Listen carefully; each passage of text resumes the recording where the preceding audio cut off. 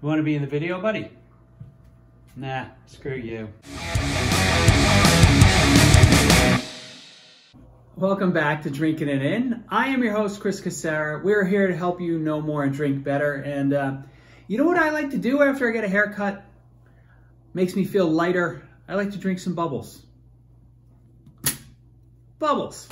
They're light and fun. So in this uh, episode, we're going to talk a little bit about Cremant. In this case, a uh, Lucien Albrecht Cremant d'Alsace Brut Sparkling Wine. So you're going to see um, Cremant, uh, that term in France, uh, or in wines from France, bubbles, uh, outside of Champagne. Basically, if you're making sparkling wine in France, but you're not located in Champagne, those bubbles are generally Cremant de something, you know, Cremant de and then insert location name. Cremant de Alsace, this is from Alsace. How about that? I think this is, uh, I think it's Pinot Noir, I thought, but I'm not positive of the grape that's actually used. I'll have to look at it and I'll actually, uh, I'll put, uh, I'll put something in, you know, I'll show it over here. Um, you'll see Cremant de, de Bourgogne, so Burgundy, Cremant de Limoux. Um, what else? There's another really not real one that I always gravitate towards, and it's I like it so much I can't even remember what the hell it's called. Um, crap, man, I'm getting old. I need to start eating more brain food. So, Cremant d'Alsace, right? Cremant is all the, the, the, wines in France that have Cremant on. They're made in the same, same method as Champagne, right? So you have an initial fermentation, uh, then they put the, the wines in the bottle and they do a secondary fermentation in the bottle and then, you know, for, for a certain amount of, of time. And the result is just uh, amazing sparkling wine.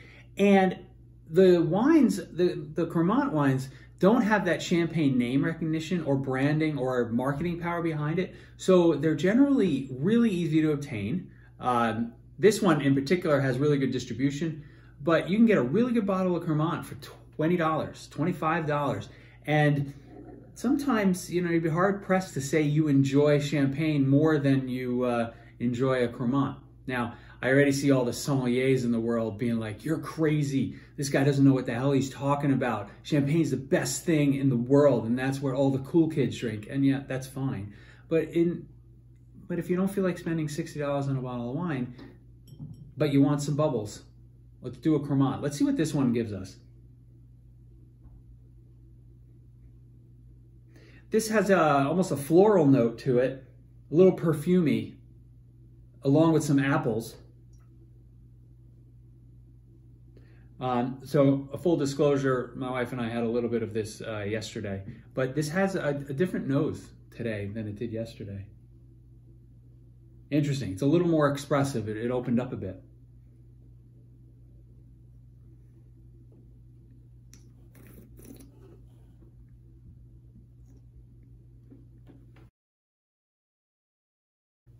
So the mouthfeel on this is so, so nice. The bubbles are really fine really active.